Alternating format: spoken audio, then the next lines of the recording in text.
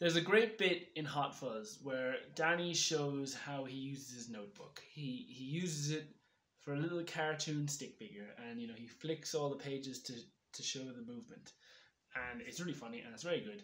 And he uh, says, "I'll show you the other side if you like." Um, unfortunately, in the movie we never see the other side, but fortunately for me, I bought the DVD extras and I could see the the other side uh, in the DVD extras, and it was great. It was hilarious. Um, but it gets me thinking they didn't need to if uh, you know it was it was surplus to requirements to to make the other side and put it in the DVD extra. You know, movies today they don't need DVD extras at all. If the minimum requirement is 90 minutes and a three act structure, you can just stick to the script. There's there's no need to do it. And yet there are people, there are filmmakers out there who go for three hour movies or who have such serious, unbelievable attention to detail that is overwhelming and it looks amazing, right? And I think they do that because they have the user experience on their mind. They want to work hard to give the best audience audience experience as possible. For example, take Pottermore. Pottermore, uh, for those of you who don't know, is a website that hosts a ton of articles um, that J.K. Rowling, um, information about the Harry Potter world uh, that was surplus to requirements for the story, um, but she she still just her imagination took her places and she sorted it out and she she wrote the backstory to Minerva McGonagall and she she knew uh, how the Hogwarts Express was made and so all that. Um, now she very easily could have compiled all that into a book and sold it, uh, and it would have been a, probably a bestseller. Um, but no, she didn't. She gave it away. She gave it away for free. Um, and so anyone who, who loves Harry Potter can can find out more about their favorite fantasy world on Pottermore. They can learn all about Minerva McGonagall, Sorting Hat, rugby, Quidditch, uh, their relationship, um, or lack of relationship, and it's great. Uh, there, there's a there's generosity there. Another example of, of generosity in art is The Dark Knight. The Dark Knight is just chock a block with fantastic quotes. Um, the amount of social media memes that that movie spawned is ridiculous.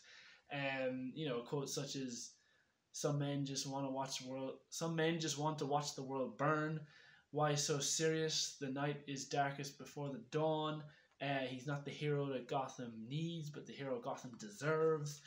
Um, you know, fantastic quotes. And you know, if you were a bare minimum creator, you might say to Christopher Nolan, you know, you're making a trilogy here, and this is only the second film.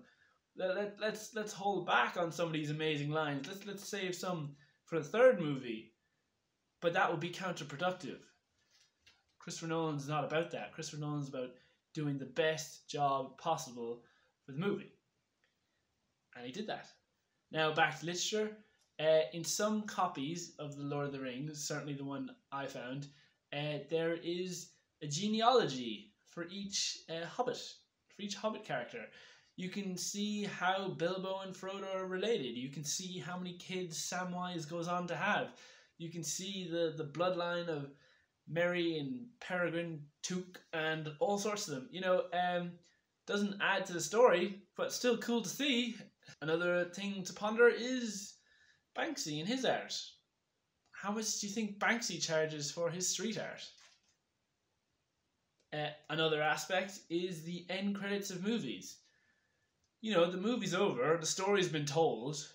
All you have to do, bare minimum, uh, black background, white, list the, the crew and the cast, and that's it. That's all you have to do and that's all the audience expects. And yet, some creators use this opportunity as a as another chance to delight the audience. You know, take for example, Twenty Two Jump Street. You know, running through all the different like fictional um, sequels that are to come. Um, you you Tropic Thunder, where we have Tom Cruise in a fat suit giving it his all. You know, and it's amazing. um, or Toy Story Two, uh, where uh, they show off bloopers and like it's an animated movie, so there shouldn't be bloopers because you had to actually deliberately create it. So those weren't mistakes. Those were actually made with the intention of being bloopers at the end of the movie.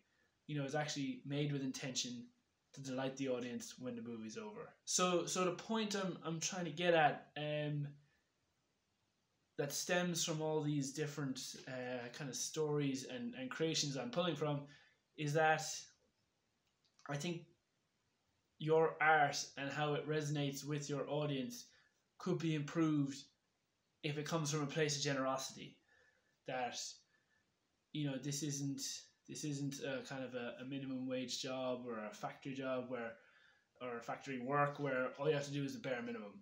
Um art is, is quite different um that if it comes from a place of generosity if you look to if you look to be selfless and you're thinking of the other person and you're looking to work hard um, to satisfy them, give them a great experience. Um, if your art, in short, to cut the rambling, if it comes from a place of generosity, I think it's going to help the resonance of your art. I hope this helps. God